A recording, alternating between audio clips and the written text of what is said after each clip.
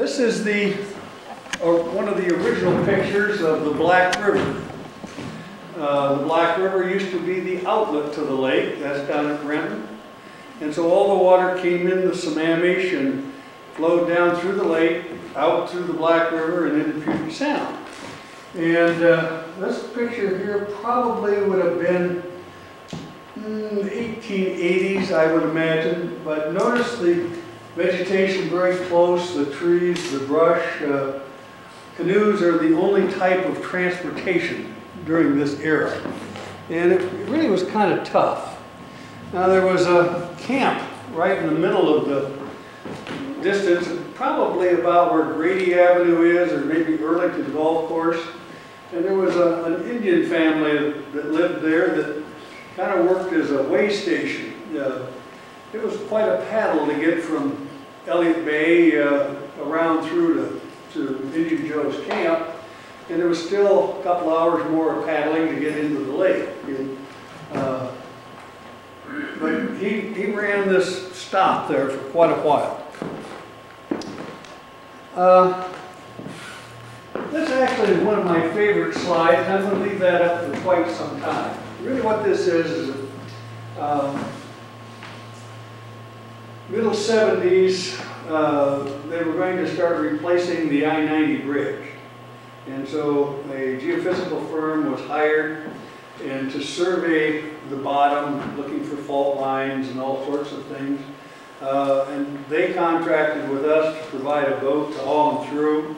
And I was able to glom onto this slide, but it's rather unique in a number of, of ways. First of all, here's a profile coming down the side. It goes quite deep, and this is a drawing of the same thing. And this actually is the scarfing of the glacier.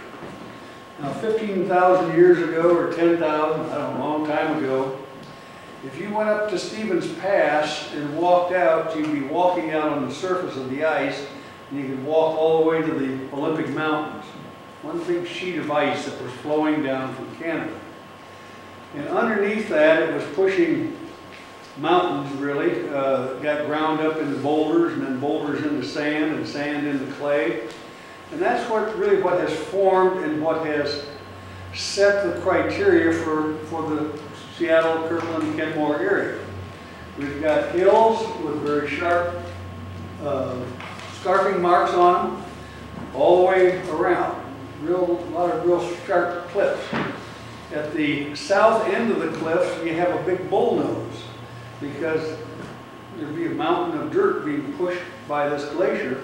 And when the glacier stopped pushing, there was that bullnose that was not getting round, rounded out. That bullnose would contain often sand and gravel.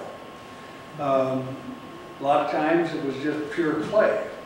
So that created, has created a lot of our topography and also created a lot of the problems of building transportation east and west. You've got to go from the bottom to the top. Puget Sound is one of these scarps, the same as this lake was, and it's still 12, 1,500 feet deep. And this is the surface of the lake up here. And uh, this represents about 200, uh, this represents 200 feet. So this is probably 30, 40 feet. And that scarf, if you project it on down, very easily would go to the 1,200 feet. So Lake Washington used to be salt water, just like Puget Sound is. It was, the lake was formed by two additional uh, geological events. The first one was the explosion of Mount Rainier. I think most everybody in here can remember 25 years ago when St. Helens went off.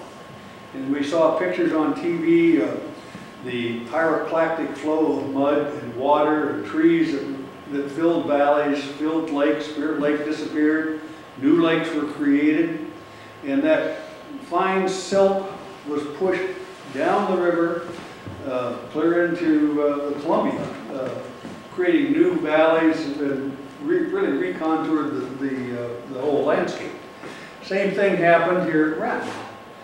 When Mount Rainier blew, that pyroclastic flow came down into the, what was the lake, or the salt water, and filled and pushed back, and it got as far as Renton before, you know, it exhausted itself.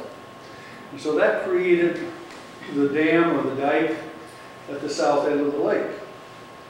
So, really from Mercer Island to Renton, the lake's only about 30 feet deep. From Mercer Island to um, Arrowhead Point in Kenmore, it's about 205 feet deep. And at Kenmore, it shallows out and it's about 20 feet uh, and bulldozes off to the, to the deeper water. And that was created when Mount Pilchuck blew a few thousand years after Mount Rainier blew. And it blew the same stuff from the, from the north heading south and filled in the north end of this lake, as well as Lake Sammamish and a lot of the other territory. So geology has played a, a, a huge uh, part of the lake. But a couple of things of interest, it's really just a big bowl. In other words, if we've got 30 feet of water at Renton and 30 feet of water at Kenmore, and there's nothing in between except this deep water, that water is languid, it just lays there, it doesn't flow, it doesn't flush.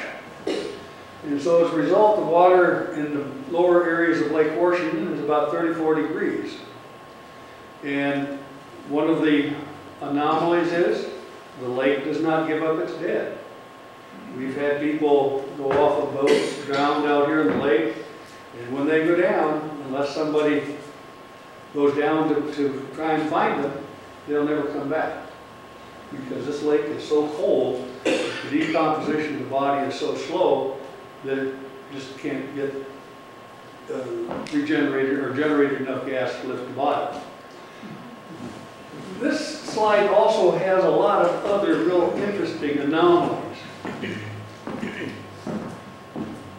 These lines here, we never could figure out what those were until we went back a second time and we ran temperature correlations. And what those are, are stratifications of different water temperatures that this electronic equipment was capable of picking up.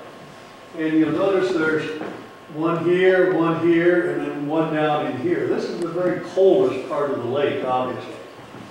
But this lake also has a tendency to roll over. Now, I haven't seen a good rollover since probably the middle 70s. In the middle 70s, we were having a lot of very cold weather. The north end of the lake would freeze from Kenmore clear out to Arrowhead Point. Uh, the whole bay down at uh, Renton would freeze over. And the ice actually at Kenmore was about a foot thick. And, and uh, we walked quite a ways out on it and still no problem. Uh, but that's very, very cold water.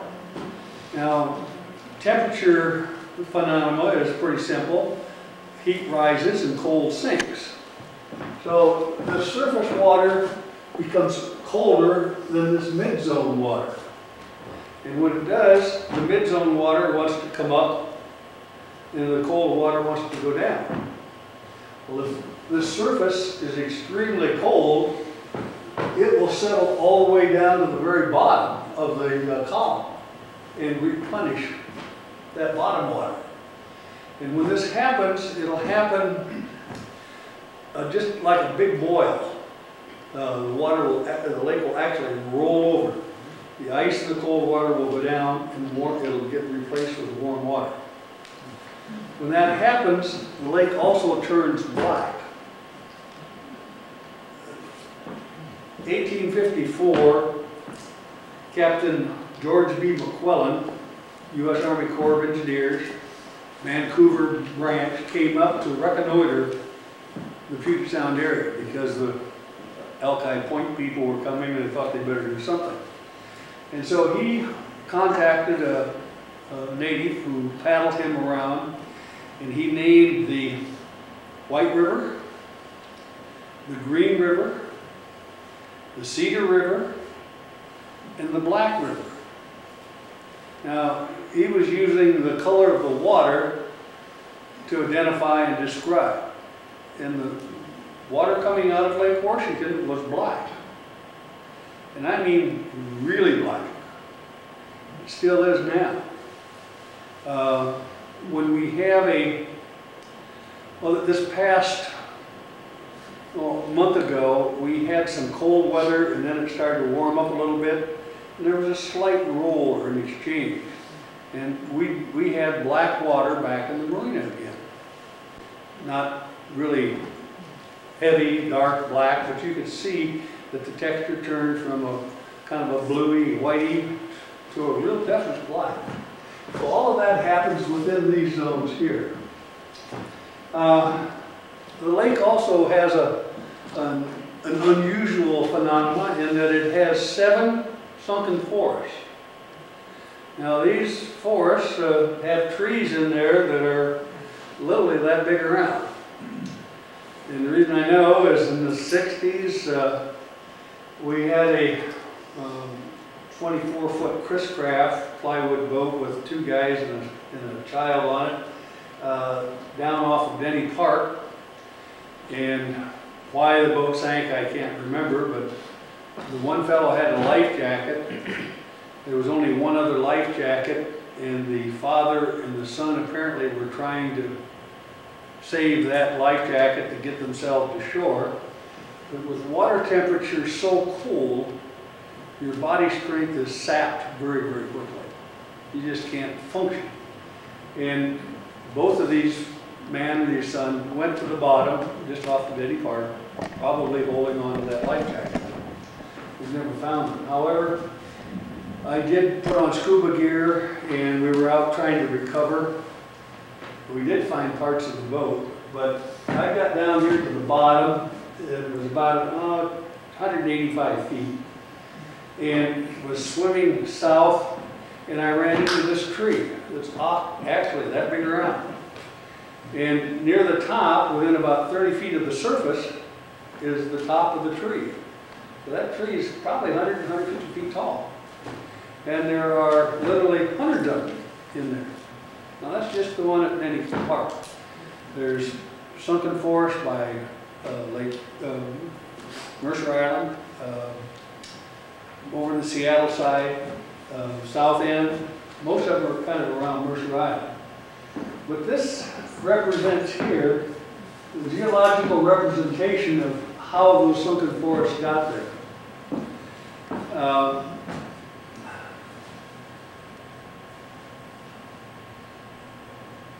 I live in, in Arrowhead, and we have a little stream that comes down right along Juanita Drive. and between Juanita Drive and the, and the lake, there's quite a gully developing. And it keeps eroding down and eroding down.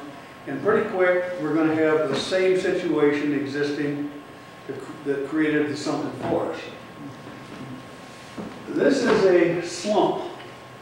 This actually sat clear up on the hill, oh, just about on top of the bridge, or the uh, tunnels on Mount Baker. And a stream cut down through, and we've got layers of clay, and we've got another layer of sand, and might even have a little bit of peat in there, and then some real fine clays, etc. And if you get cut down through, and water can get to a layer of that real fine clay, it will lubricate it. And so you get a, a stream or a seep going through it, and now you've got a bowl full of jelly. And we get one of our good earthquakes, and we get that good shake, and it'll start moving off and come down off the side of the hill and head for lower water. Now, this happens, well, in glaciation, every once in a while there will be an anomaly rock. That's, you might be in clay, you might be in sand, all little, little tiny uh, rocks or something like that, and then all of a sudden there'll be a big round boulder. Well, that's kind of an anomaly for the type of, of conditions that it's in. And this is an anomaly rock that used to set up on top of Mount Baker.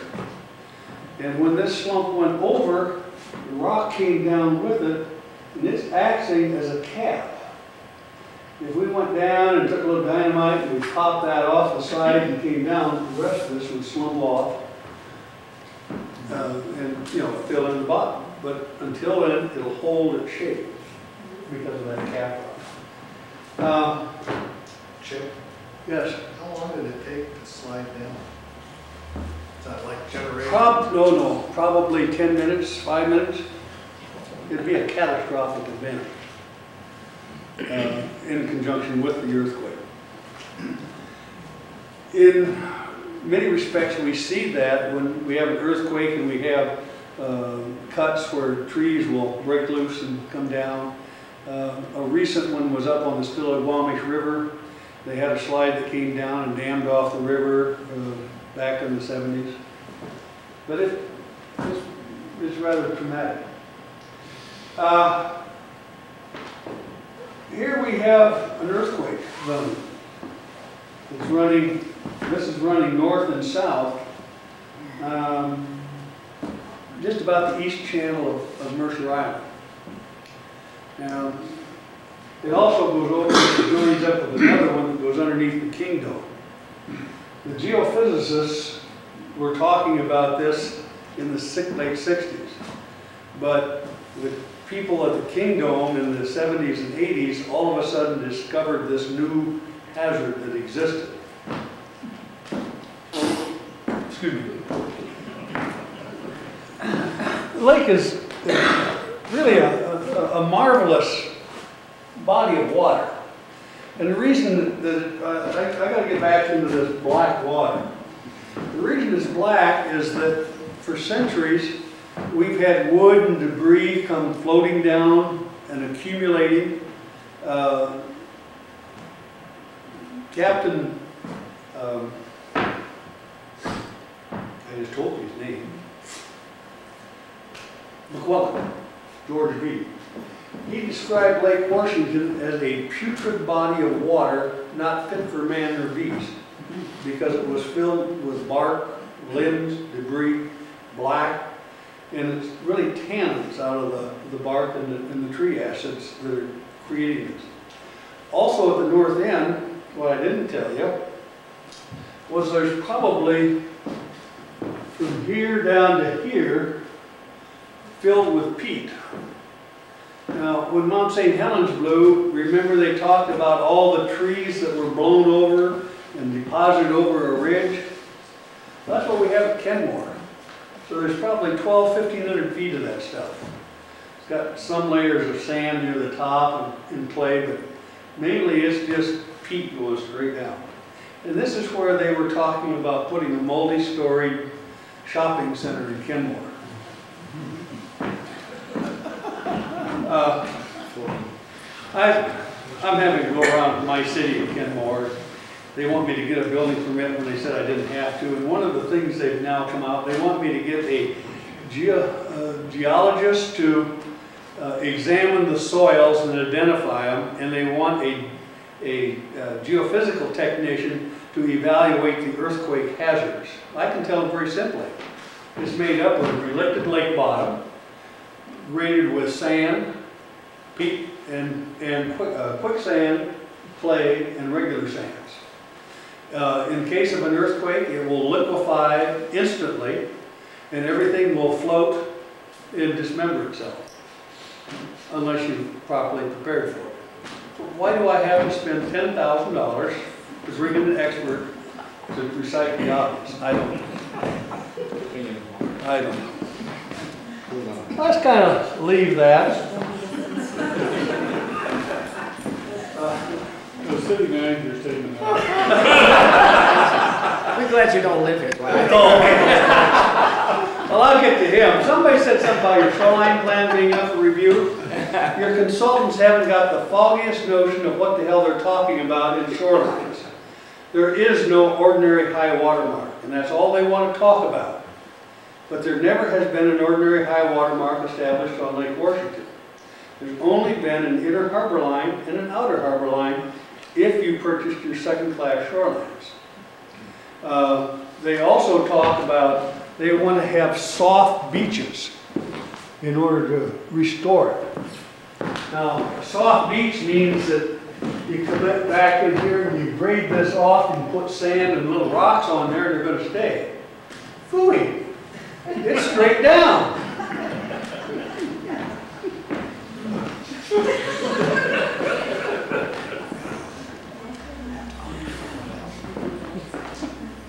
Of the way swamp, or uh, the Sammamish Slough looked before the lowering of the lake and early on in its history. Uh, And, you know, Seattle was settled in 1854. By 1860, the uh, Yesler Mill was in operation.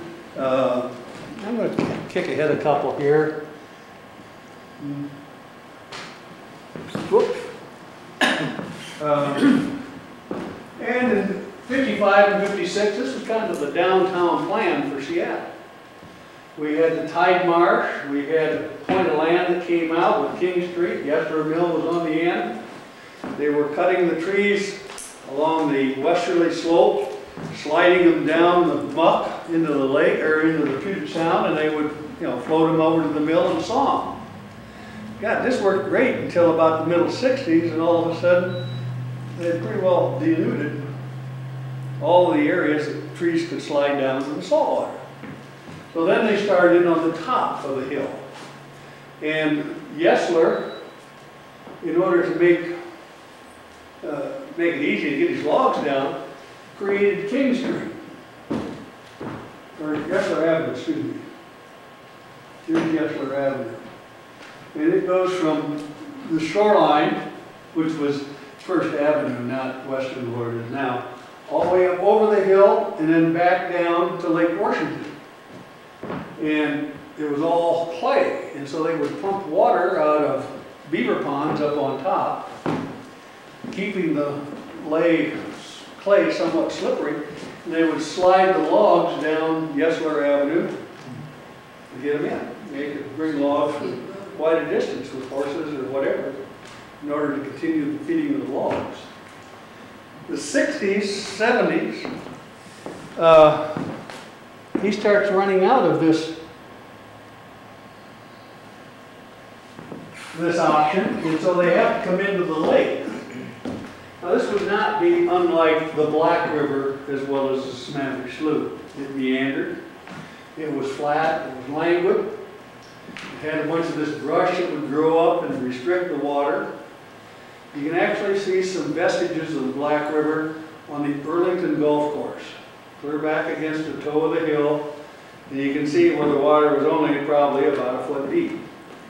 And so logs couldn't be taken out of Lake Washington uh, most of the year. The only time they could get the logs out is when if we had the rains and snow like we had here in January, usually in November. They would stack logs from Renton clear up past Mercer Island. When the creek came up, they started shooting these logs down the river and out into the salt water, and they'd corral them out there. Seen pictures, and I, there's one I really want. It's showing three guys with a pipe pole. One guy's got about four rolled up sticks of dynamite. He's smoking a cigar, and he's got one of these, two sticks in his hand. And he's running out on the logs because of the jam. Light the fuse, give it a pitch and keep on going and blow the, the jam apart to keep the logs moving. Because they know it would only have maybe a week to move a year's supply of logs up the Black River. Now, humans are pretty ingenious.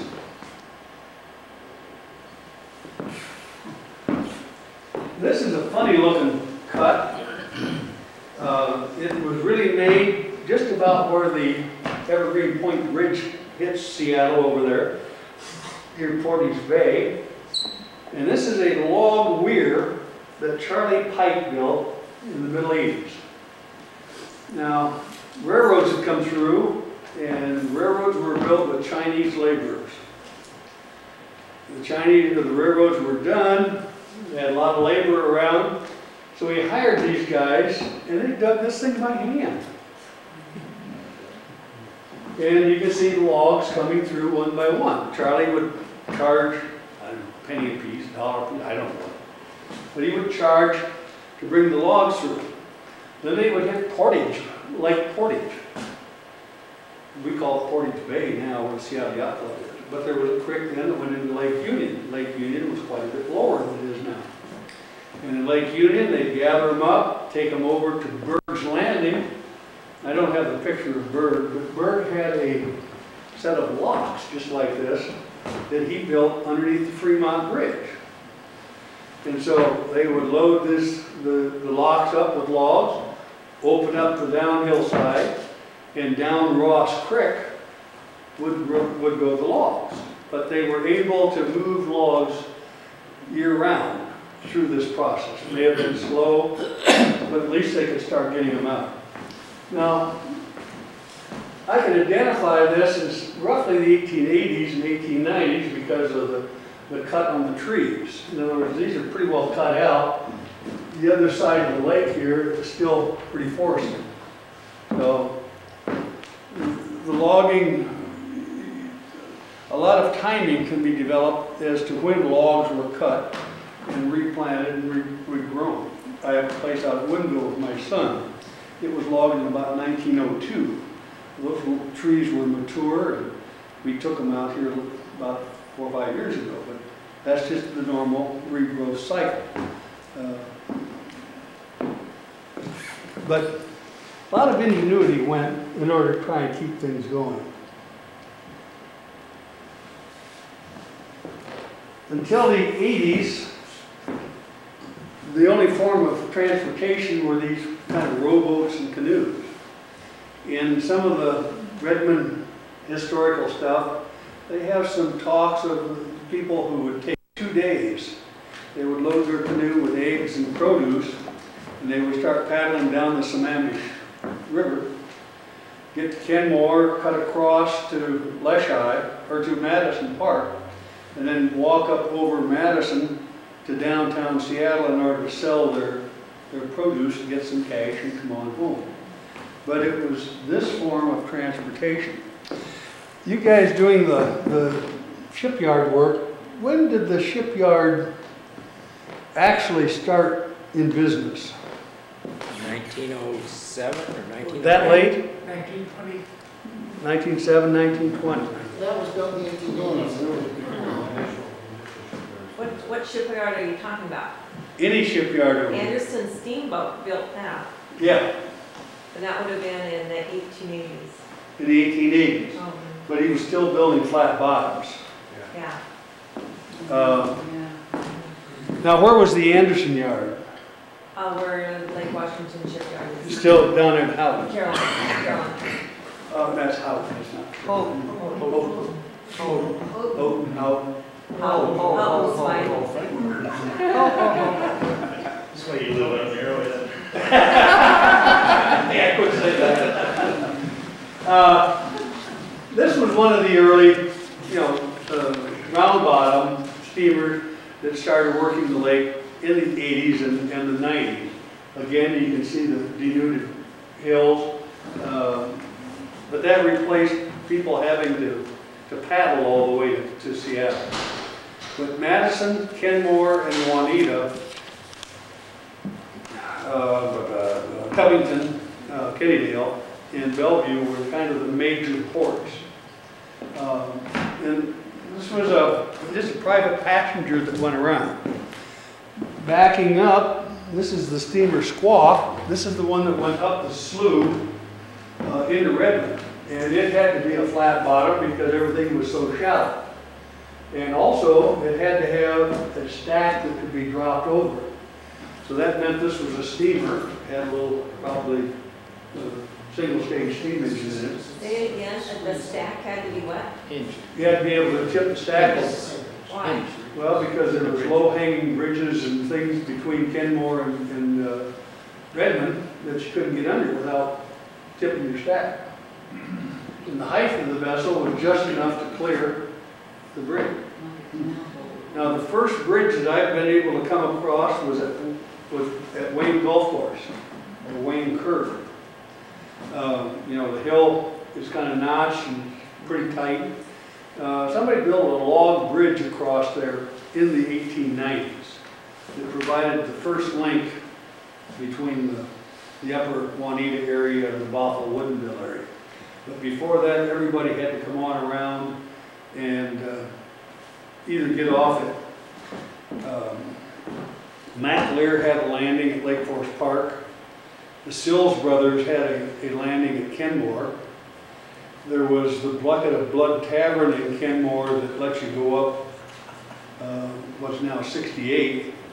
And then you could get into the city of Bothell, landing about where Wayne Curve is now. Uh, You really couldn't go from Bothell to Juanita without getting back on the water and going around because, of, you know, being cut off with the- the slough and everything else. Transportation continued to, you know, develop. And here we get to one of my favorite parts. Uh, I indicated I could cover a whole range, and I'm gonna back off now and, and I'm gonna start talking about some of the, uh, property rights issues relating to the lake. Uh, Prior to statehood, the federal government would sell tidelands and shorelands. And since the federal government owned them, you know, that was available for sale and many people bought their tidelands. Uh, When the Constitution was framed, there was a big argument over riparian rights or states' rights. And one little sentence got into the Constitution. If I get into my notebook there, I can dig it out for you. But it made the statement that the state, you know, shall prevail in matters of ownership. And so what this has meant is that the state claims ownership of all of the water in the state. This was first tested in the 1890s in a court case called Angle Lake um, versus King County. The property owners around Angle Lake, it was a small beaver pond, uh, had, had their lake, they had their boats on it, they did their thing. There was a small triangular area that was acquired by King County for a park. And they started letting riffraff get onto the lake. That upsets people on Angle Lake. I think, I don't. Anyway, big, big property rights case. And the courts, up to the Supreme Court, held that since that was an enclosed body, that everybody owned a pie to the middle. But nobody had a right to deny somebody else the use of the water. In other words, it couldn't be totally restricted. 1900, Seattle was struggling. Uh, They had developed on First Avenue, Second Avenue, you know, whatever. But uh, they really needed something to get themselves going. Now, the Denny's had donated a lot of downtown space for a university. And that's why we have University Avenue between Fourth and Fifth. That was the, the Denny University of Washington.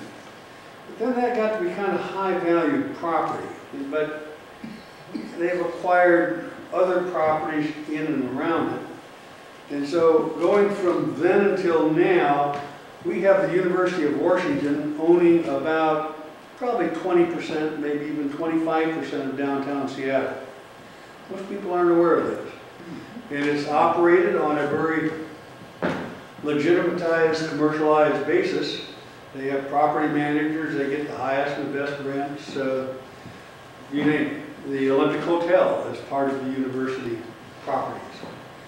Uh, The university was kind of plugging up the downtown, and I don't know whether I can use Peter Kirk's name in vain around here or not. You guys are kind of akin to him, you know, I have there. But some of his buddies uh, really had grandiose ideas, not only for downtown, but railroads, Lakeshore and Eastern coming around, and steel and coal mines over here. Uh, And so, in order to kind of create a new Seattle, the Seattle guys won an Alaska Yukon exposition in 1908. And they went to the legislature, now this all starts just about the turn of the century. And the guys from Eastern Washington and Olympia said, oh, no, we don't want anything to do with that. We're not gonna fund it, we're not gonna be involved with it. So, King County people not wanting to be outdone,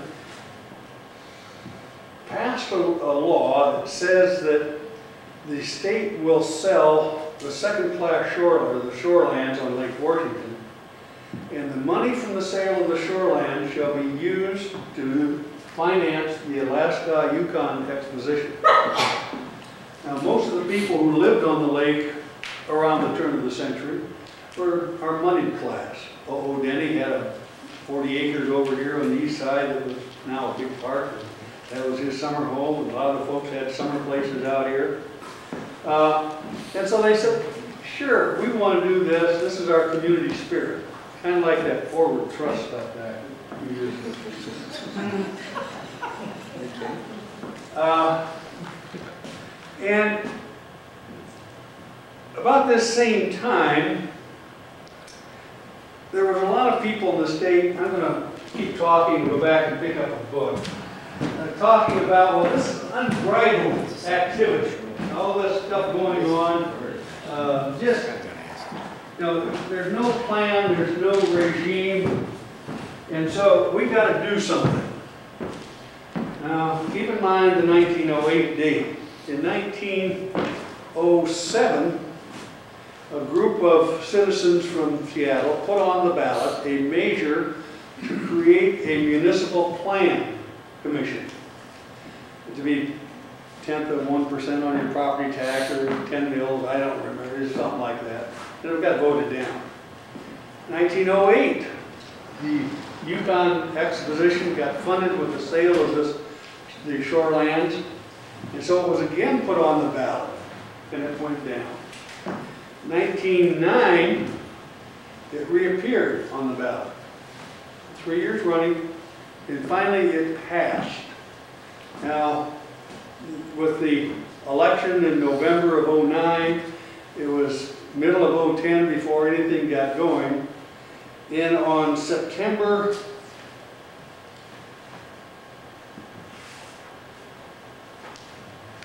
I think it's September 15th. I can find it. The municipal plan of Seattle was published. And in this plan, and, and this was in a pile of trash at uh, the downtown branch of Seattle Public Library, being thrown away back in the 80s. Is this, And you typed it. this is awful, this is an awful document. It, uh, it was done by eminent engineers and planners from all over the world. They used the world as their example. Um, Under transportation, separation of grades on the tide flats, steam railways, rapid transit, Yarrow Bay Tunnel, interurban service, street and railways, and ferries. They were all considered as a part of this plan. Their arterials were to be 250 feet wide, major streets to be 125 feet wide in order to carry traffic. Now, the car had just come about, and so this was a very visionary document. But for some reason, municipal planners hate this concept and refuse to even talk about it. I, I have no reason why, to know why, but a marvelous, deep, uh, a tremendous amount of detail in their mapping, laying roads and, and rapid transit, tunnels underneath the ship canal, etc. That kind of ties back into another subject we haven't talked about, and that's the, the locks. Now, while all of this stuff was going on, very quietly, Watson C. Squire was our next to the last territorial governor. And Watson C. Squire probably asked the, the territorial engineer, where is the best place for me to invest some of my father-in-law's money? His father-in-law was Frederick Remington, Remington Arms. And so the engineer selected Kenmore from about 67th to 68th and from the water on to the north. Why he did that, I don't know. But anyway, uh, Squires ended up with that ownership uh, before statehood. The last territorial governor was Eric Semple, and, and you can imagine that Remington was probably a Republican. Uh, the last territorial governor was a Democrat.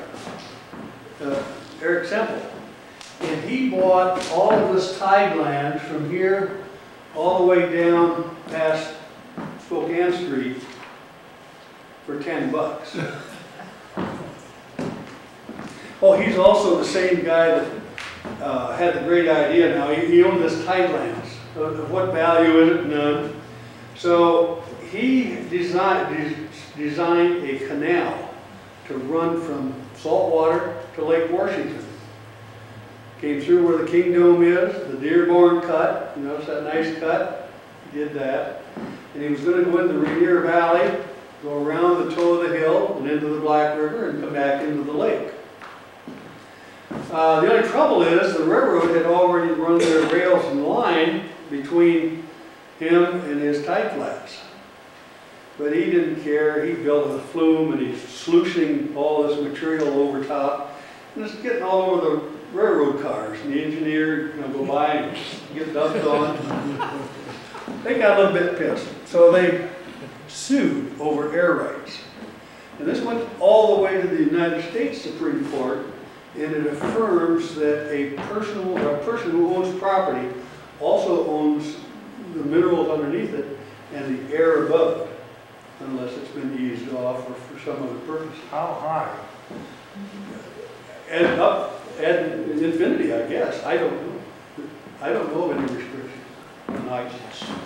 But anyway, that case came, it's very simple, trying to fill these tide flats. When I got here in sixty, they were still filling on them and still selling them. Uh,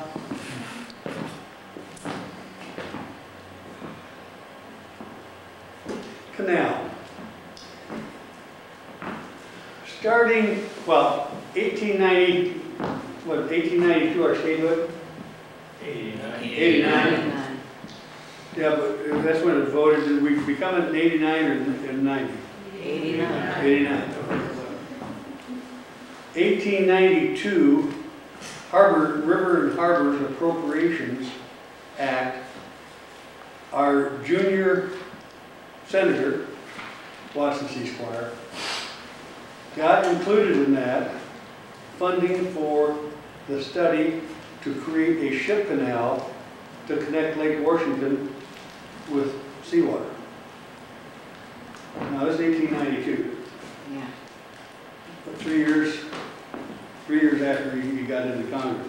Pretty good for a junior, junior uh, senator. Uh, The bureaucrats didn't want to do it.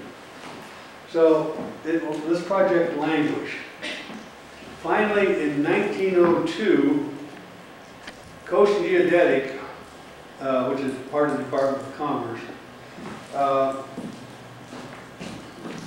finally got on the ball, and they came out and they did a topographical survey of Lake Washington. In 105 monuments. Now, where do I get my information?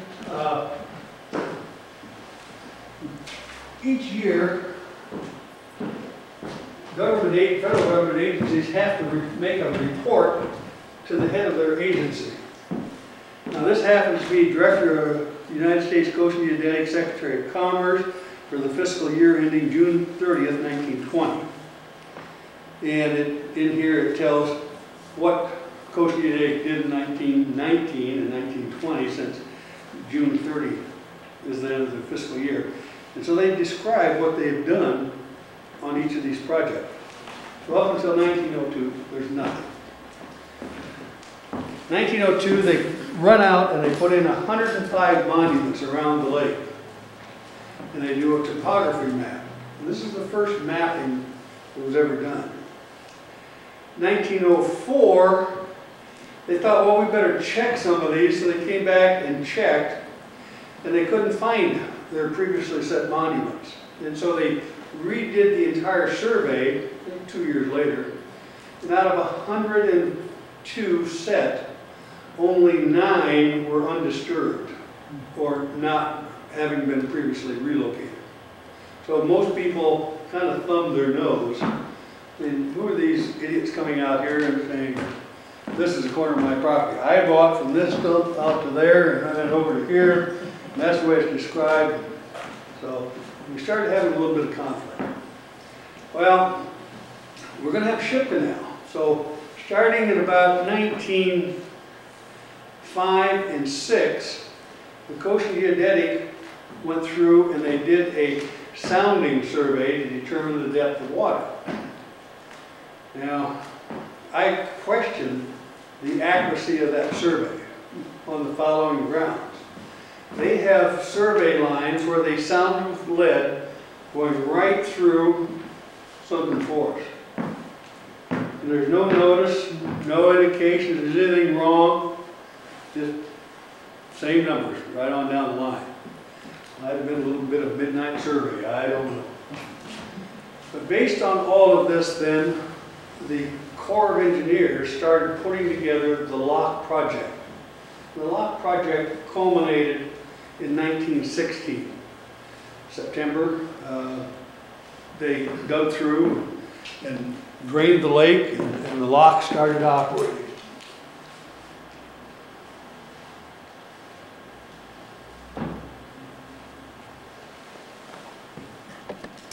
Ah, I haven't got these all necessarily in order.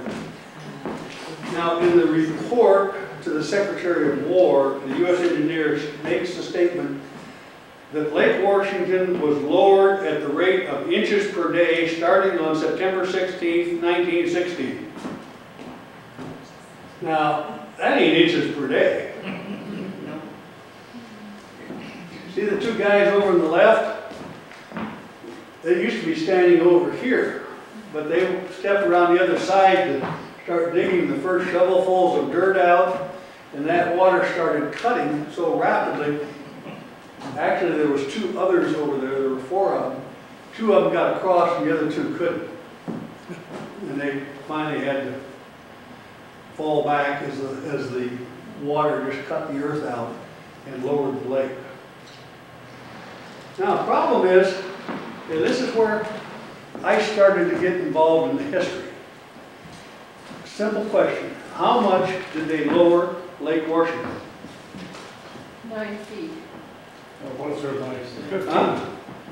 I'll show you 12 feet. I'll show you 8 feet. 16. I've seen that one also. Okay, let's, let's go back into a little bit of the geological history of the lake. Black River. Black River vegetation would grow. Our climate normal cycle is that the 4th of July it's raining, the 5th of July it turns nice. And it stays nice until about the middle of October, with little or no rain. There's no real body of water that feeds Lake Washington. We get some creeks that come down through uh, Issaquah and into Lake Sammamish, Lake Sammamish to, to Lake Washington. Oh, we have Thornton Creek, and we have Juanita Creek, and we have Swamp Creek. But these are piddling little streams, hardly enough, I don't think, to cover the evaporation losses on a 35 mile by 4 mile body of water like this. To be some tremendous evaporation.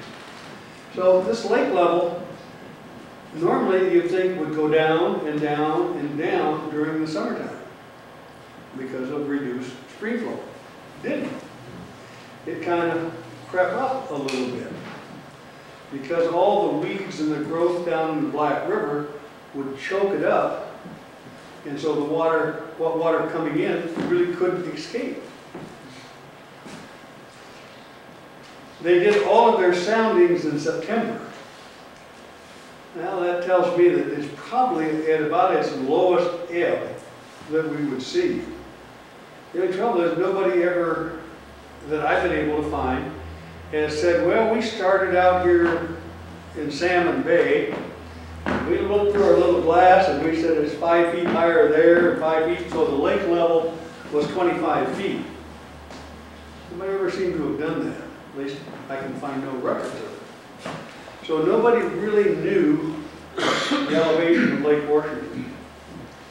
When the Corps of Engineers designed the locks, they designed it to be 25 foot of draft.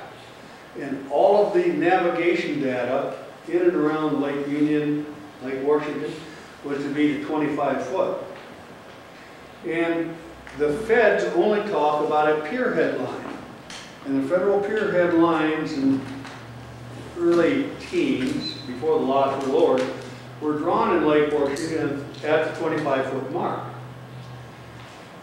25 foot, if I go back to the geophysical slide, you know, it's about 10 feet off the shore, you're down 25 feet, because, you know, the bottom, or the shorelines are dropping off at a very sharp rate. But if you're at Kenmore, or if you're at Renton, 25 feet is all the way out to Arrowhead Point. And from Renton, it's almost to Mercer Island.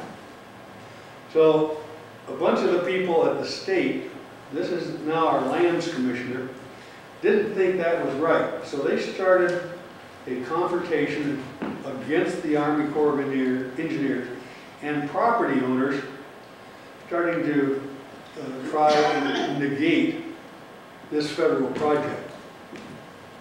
It's interesting, if, I don't have a slide that I can pop up.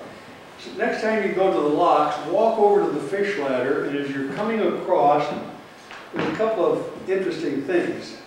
There's a a cofferdam there, and you see these shields that go down. And on top of the shields, you'll see an extension about yay high. Now, all of the bracing and everything else goes to the main body of the shield. Now we've got this two or three foot thing on top of it. And if you walk over and you look into the side of the fish ladder, they have a, a, a gauge for water height above sea level, and it goes all the way up to 25 feet. And all of the design criteria for the locks was 25 feet. But when they lowered the lake, the lake came down to 20 feet or less. I say or less. And they got back and they started looking at the locks. Two different engineers worked. The locks were built using plans from the Panama Canal. They brought a set of plans up because it was under construction at the same time. And Chittenden took those plans and he built our Seattle locks. They're exactly the same uh, configuration, drawing, refill, tunnels, everything, doors, configuration is all the same as the Panama Canal, only smaller. But that was a different contractor than working the other side. Also in that, in about 1910, Coast and Geodetic decides they wanted to change the definition of sea level. So from mean low, low water, they moved sea level to mean low water. It's probably about four feet difference. The contractor building the locks was using the old, the, the old sea level. The contractor building the, the fish ladder was using the new definition. So he's got his up where it belongs, and the locks are about five feet low. Hmm. Now, if you look, there's a concrete pour on top of the locks. It's just about that difference. Uh, yeah, The lake, nobody really knows what the elevation was. When the lake was lowered, in this process, the municipal plan does not address it, but the legislature, the land, uh, Commissioner of Lands does. In that he expected all of the land that would be exposed when the lake was lowered be titled to the state, because the state owns all the water. And so he proposed having a boulevard all the way around the lake that was called Lake Washington Boulevard. Now, There's only a couple of small places where Lake Washington Boulevard exists. Kirkland is one, over on the Leschi side is another, there's some Lake Washington Boulevard down in the Renton area. But up in Kenmore, where I am, they showed a boulevard going right down through the land that was exposed. And the land was then owned by Fulton Health. And, uh, oh, there's more court cases with Pope and Talbot involved with this than the chicks ticket. But anyway, uh, Well, before that, or let's get before they, they. They're, everybody's trying to come up with what's gonna happen. The state did their soundings, and then they deducted eight feet off of their soundings and made that a zero. And from that zero, they said, well, this is where the land will show when the lake is lowered. When they lowered the lake, the land that showed was way out here. And so the state says, well, we'll take all that too. So we have a 1911 drawing showing the state taking the land for Lake Washington Boulevard. It changes in 14, and in 14, Pope and Talbot sued him and won, stating that he can't draw it against the ground that we own in fee because we own the shorelines. On and on and on. Well, in this process, the state drew an inner harbor line and an outer harbor line in 1920. And days before the finalization of that, the mayor and two councilmen from Bothell came over to Kirkland at a meeting that was called the Harbor Commission and started complaining that, gee, we've always had access to the lake, but now with this lowering, we're not going to have access. Because, you know, their river disappeared. So the state says, oh, that's all right, we'll create a waterway from Lake Washington to Bothell. And so they drew on the lines called a waterway. Pope and Talbot had been selling lots, guaranteeing people that they owned from Lakewood Villa Road, which is now 175th, to the slough that emerged. So kept selling these lots. State came along and they said, geez, you don't have any rights of ownership. So they established a retail uh, land sales office over in the lower moorlands.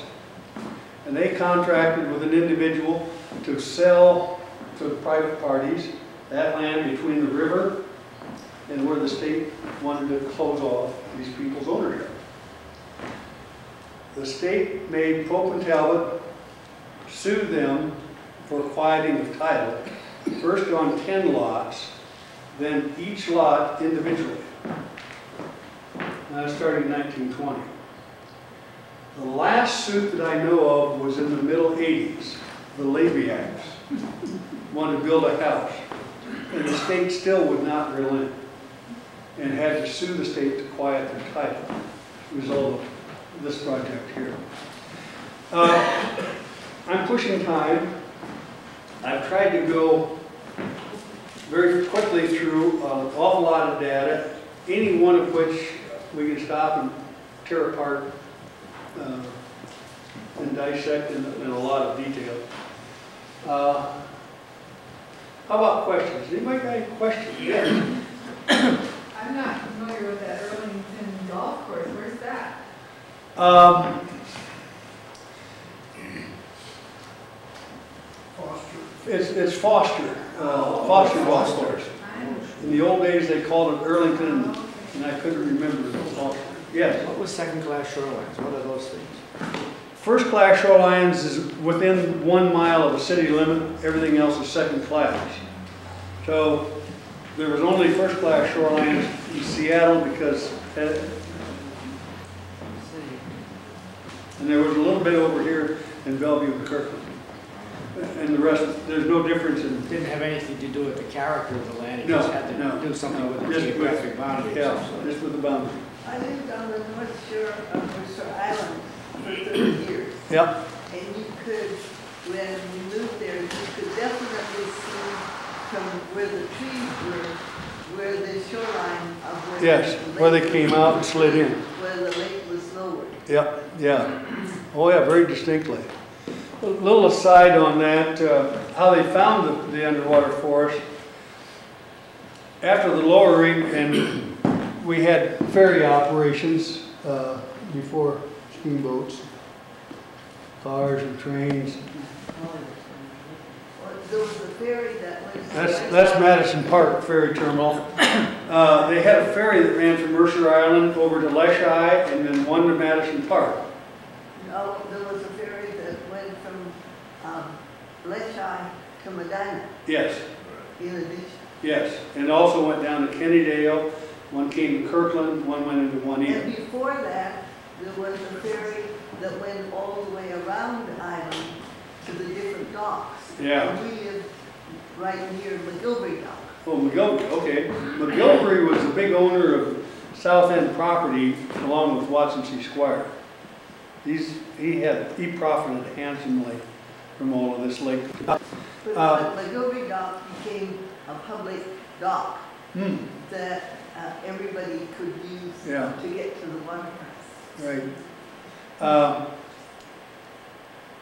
Right after they lowered the lake, running from North Mercer to uh, Madison Park, a ferry struck something, stove a hole in her bottom with 122 passengers aboard, and she was, a I think, a paddle wheel, and they paddled like crazy, and they made it over near Leschi and got it on the beach with no loss of life. But the Coast Geodetic, I mean, they've got egg all over their face. This happened almost exactly in line with one of their sounding marks. Uh, They got together with the US engineer, and the US engineer said, well, the only way I can figure that we could get Ah? This is the engineer boat. This happens to be the Preston, which is up in Anacortes right now. Predecessor boat looked a lot like it. Had the two big stacks on the back and the big boom out in front and it cleaned debris. And it would take it back in and burn it and away it go. But they, they put a timber down on either side, 20 feet, and they put a cable uh, underneath those timbers and pulled it up taut. They chugged along until they hit something. And they said, oh my gosh. And so some guys went down and could see that these were trees. So they figured out, well, if we catch it with that wire, we'll take one end and we'll put a clevis on it, draw it up as a noose, and then we'll back off and we'll pull the tree over. Now, I, it's hard for me to describe how big these areas are, because I really don't know. But they've got to be fairly huge forests down there. Uh, And on the outer edges, I'm sure the dirt and the water and everything else loosened the, the the roots enough that the engineer's boat was able to pull that tree over and pull it to the surface and get rid of it. So they started in 1917. Now, this accident happened in October, November of 16. And they kept finding these trees that were sticking up. The only trouble is, in two weeks, they had expended their entire year's supply of consumables and had to quit. Words, they ran out of money. But the Coast Geodetic felt a little bit of an obligation, so they came over and participated in 18. So between the two, they were making pretty good headway on this one sunken forest off the north end. As they got deeper in, the trees were more firmly rooted. So the engineers would grab a hold of it. Then the uh, Coast Geodetic boat would hook onto the back end of the engineer's vessel, and they would, in tandem, pull, and they would get a few more of them pulled over. Well, in 19, they were getting pretty well into the middle of that pile, and they had a good hold. The engineer was, that's paddle boat, he was just paddling like crazy. They brought a second engineer's boat on and hooked it to the stern of the first one, and they pulled the stem out of the Coast Geodetic boat. They were able to quickly swing around with the boom and keep it from sinking. In 20, that's when the Preston was built, they had so weakened the timbers that they, she was no longer watertight, nor were they able to keep her watertight because of all the twisting and pulling and straining that they'd done. And so the Preston was built using the engines and deck equipment off of their original boat. Fact, you can go up to the quarters and the ship's log is there and you can read some of these stories, yes. In nineteen sixty, I worked for Foxtown, and we used to pull log barges over to. Kenmore to the Oh, uh, yeah. Preston Mills. Yeah, And uh, some of those trees, our charts showed where the trees were, some of Right. trees. And uh, I understand that they're still there. oh yeah, they're still there. They're still there. In fact, there was a guy convicted uh, for illegally trying to harvest them off of Mercer Island about four or five years ago. Yeah. Yeah, two questions. Originally, you said the uh, Lake Washington was a salt body, uh, a body of salt water. Yep. And I'm interested in how that conversion occurred to fresh water. And then secondly, could you go over again just how this and where this Black River ran, from where to where? Well, okay.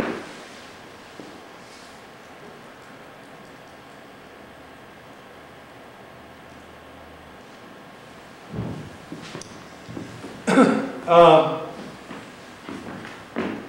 Are you familiar with the Renton Airport? Yes.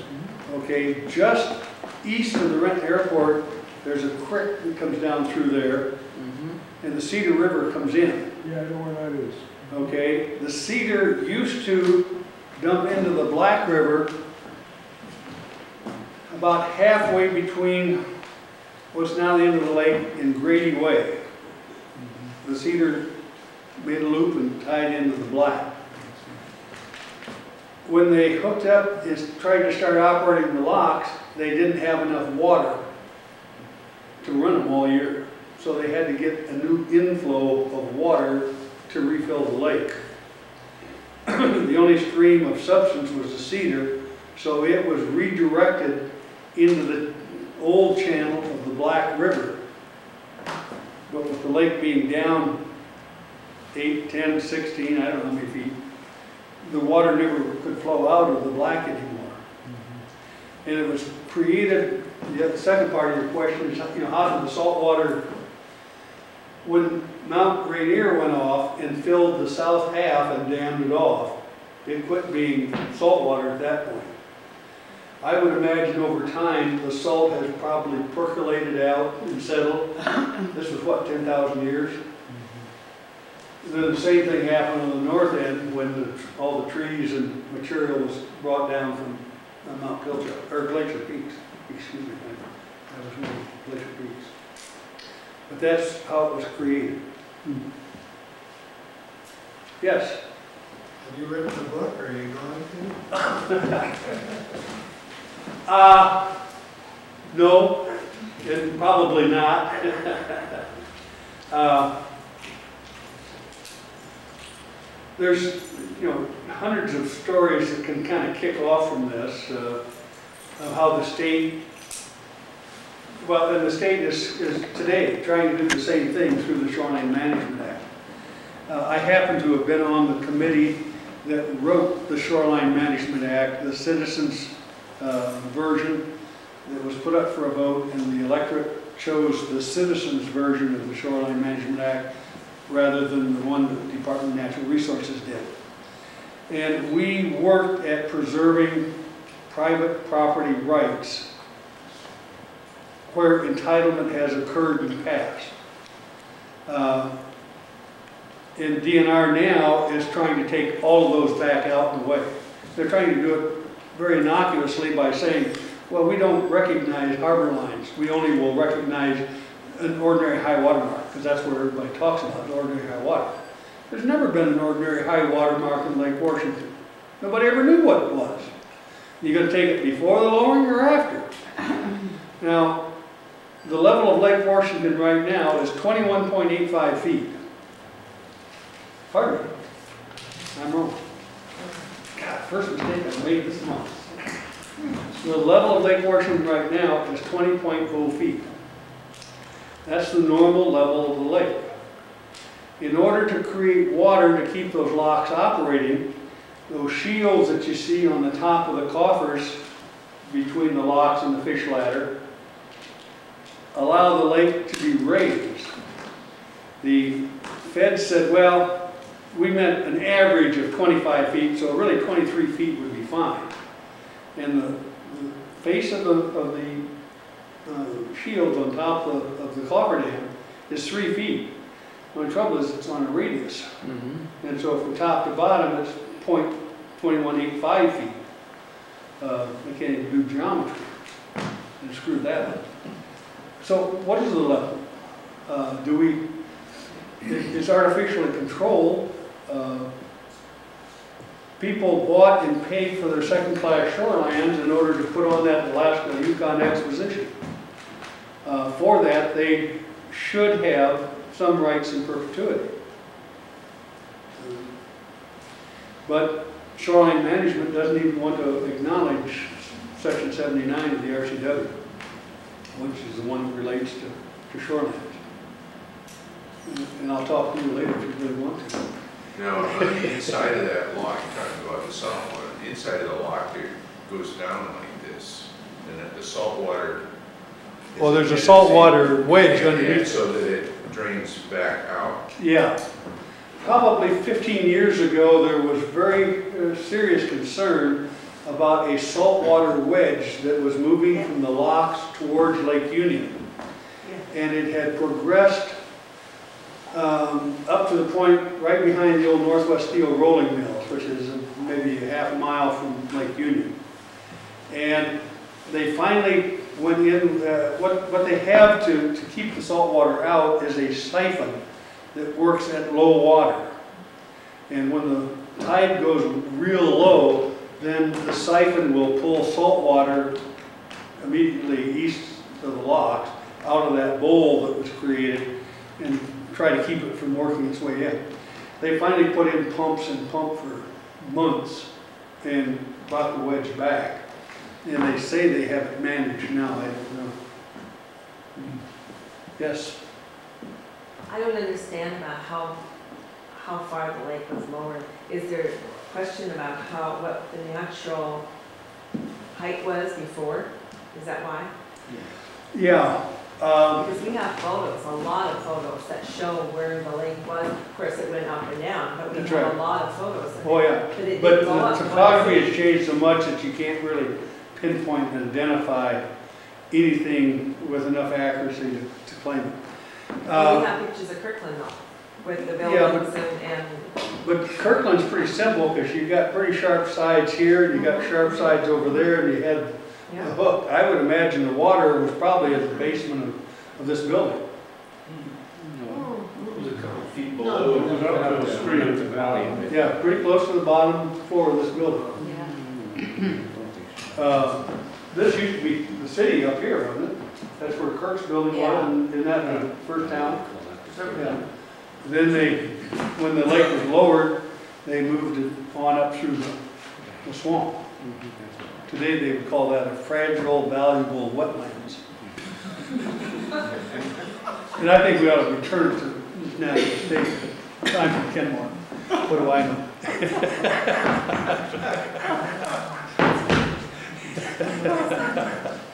Uh, And kind of in answer to your question, when the state did their survey, I said they took the, the depth reading and they deducted down the first eight feet.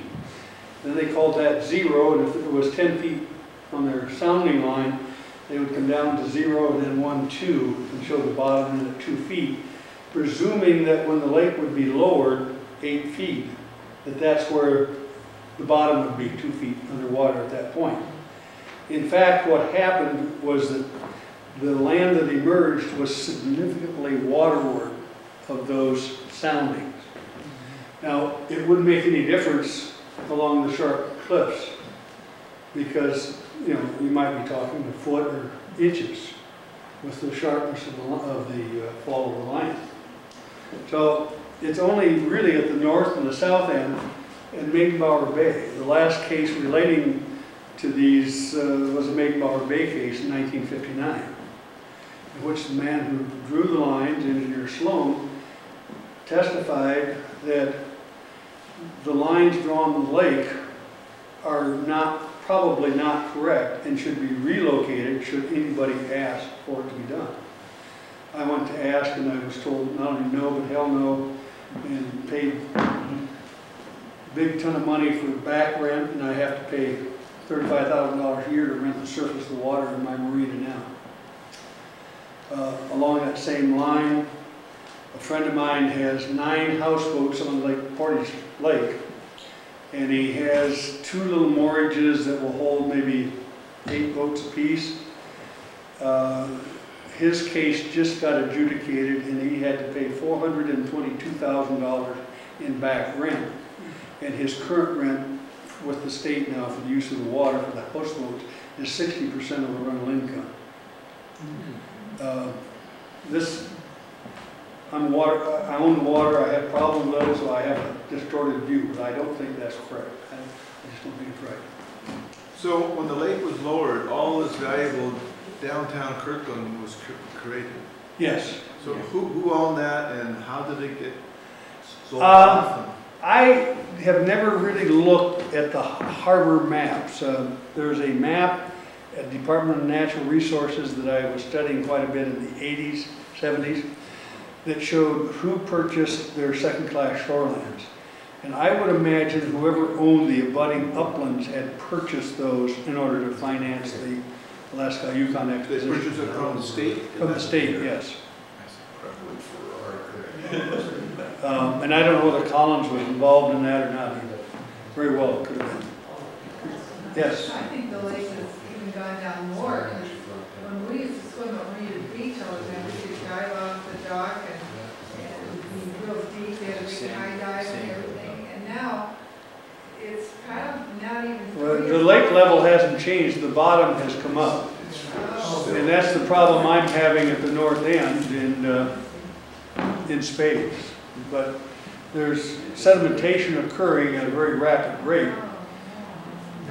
Probably not an unusual rate or an abnormal rate. It's just probably the normal rate of sedimentation. Yes, 15, 20 years ago, I was involved in some of the shoreline management with the state. yeah, And I think if I'm correct, at that time, only something like 60% of the lake was the state knew where its line was. Because there was all this discussion about the line of navigability and all this stuff. only, only about forty percent of the lake had a def, defined inner and outer harbor line. Okay. But Did lines they make any blanket thing after that, or where do No, we stand? no. It's all an individual case still? That's individual cases, they, they don't want to talk on any macro basis. How about the dredging up there by the slough now? Getting over towards your, Um, how how much water have you got over your way now? well, you've only got about a foot of water over the rifts trying to get out of the slough right now. Uh, No, I know, but I mean over against your, uh, your marina. okay, let me go back to nineteen sixty-three. The slough was meandering, and we used to have a hell of a lot of fun racing boats Yeah. up the slough. And then we had a lot more fun when we put a skier 50 feet behind that boat, and he would go around, and the skier a lot of times would go up over the dirt because he couldn't get out and around. Hell of a deal.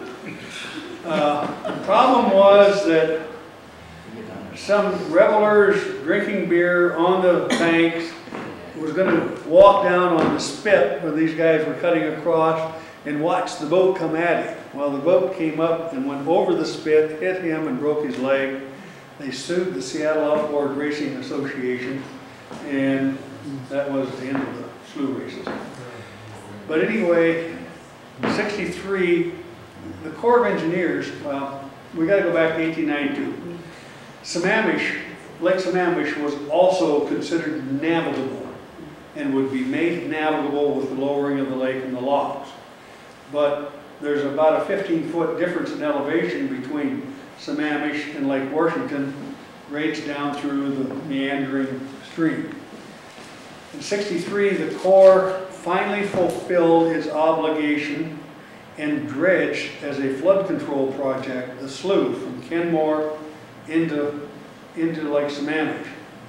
They got within a few hundred yards of the lake, and there were enough people complaining that the lake would be lowered about four or five feet. And they already had their dock in place, and they were not gonna spend money to create a new dock. And so the Corps quit and just put a log weir or log dam at that point. So Lake Sammamish is- was left undisturbed. That still doesn't prevent the silt from accumulating and coming down the river. Another little side, somebody asked about an island, Yeah, I, that was you? that I, yeah. Uh, Well, when the Corps drew up these plans, um, they forgot and left off the top sheet when they sent them out to the various contractors. So the contractor that was doing the dredging, he's dipping stuff out, and cleaning the sides, and he gets down to the 68th Avenue Bridge, or the, we call it Slough Bridge or Kenmore. He starts loading up his equipment and hauling out. And the Corps engineers and inspectors, say, hey, wait a minute, you gotta finish your damn job. And they kept pointing out, no, here's our specs, here's our plans, this is where it quit. God, we screwed up again. So now they've got it all dredged down except from the river out, and it's really in a, a lot of fingers of water coming out. It's really a delta situation, blocking up all the silt. It, in the two years it took to, re, to you know recover from this problem, uh, about half of the silt got replaced that should have continued to wash on out. So George, Pioneer Towing George, Kenmore Premix George. I can't think of his last name.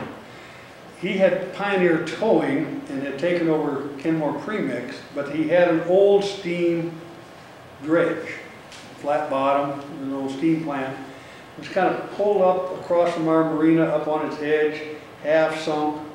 And I'll be danged if they didn't come down, pump the water out of that, fire up the boiler, and it started working as a, a dredge again. And they cut a deal with Jack Barron at the golf course. Now, the eighth green used to be clear across the river, probably another 30 yards to the north. And then the river cut around it and came clear back um, to the south and alongside of, of Barron's house. So Barron cut a deal with George, cut it straight off, he would relocate the eighth green and run it straight through, and then they just would divide the property between them. And that's what they did. That created a real problem out there with Bird Island. Uh, The state claims it's theirs, uh, Barron's claim it belongs to them, but uh, just another one of the continuing things that keep showing up. King County was, is supposed to dredge the slough. In 80, probably 85, 86, Kenmore Premix and ourselves prevailed strongly enough to the Corps of Engineers for them to uh, dredge the channel, Kenmore Commercial Channel, into our property because we were guaranteed navigable water, which we had before the lowering, after the lowering. And it took a lot of arguing to get them to finally dredge and provide us with navigable water. Is it filled in again though? Oh, yeah. Well, you know, uh, in uh, Marysville, I did an addition on that treatment that plant, that sloughs, you know, as you. Yeah. And as you, to go in there, you go by that marina that's out in the flat. Yep, And on each side of that road, there are big mounds of sand because they, they go in there every. Every year To, to dredge Yeah. it.